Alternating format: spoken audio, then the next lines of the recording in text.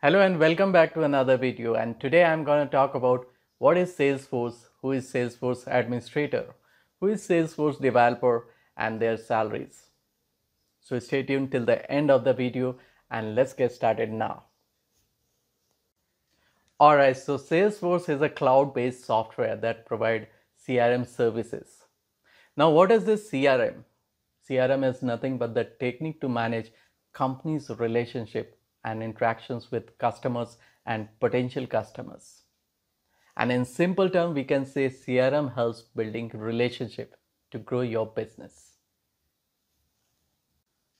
So Salesforce basically brings together customers and companies.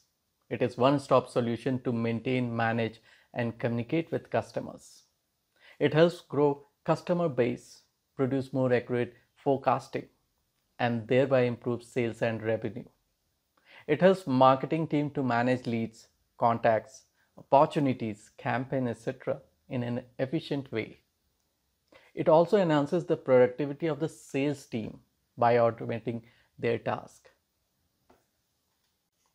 Now they can use the activity history, key contacts, communication details of the customer and concentrate on only those customers who are more likely to buy the product.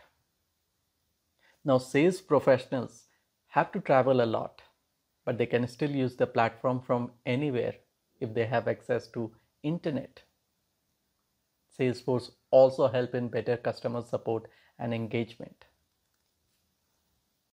Now let me give you an example for you to understand it well. Suppose you bought an item from Amazon.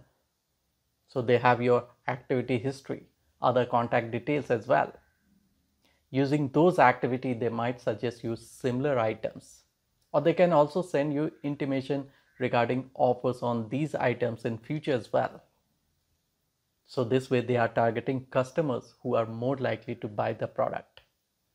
And this saves time and effort. Now this is all about what is Salesforce. Now you can become a Salesforce administrator or Salesforce developer. Now coming to who is Salesforce administrator. Now Salesforce Administrator allow the companies to get most out of the Salesforce technology. They work to manage and monitor the Salesforce platform and ensure the company is using the platform to its fullest potential. They work to customize the platform and automate complex business process by creating customized reports and dashboards. They are also responsible for data cleaning, running backups, user maintenance, platform maintenance, bug fixes, user training, process automation, and many other things. And the best part is that you don't require coding experience. Yes, coding experience is not a requirement for Salesforce admins. And you know what? You don't require years of learning as well. If you are a quick learner and have a few years of work experience, you can easily learn Salesforce in three to four months.